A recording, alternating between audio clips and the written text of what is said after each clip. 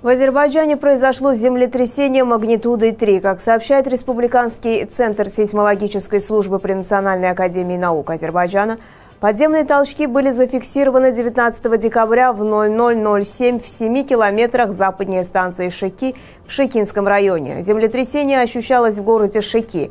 Очаг стихии залегал на глубине 6 километров.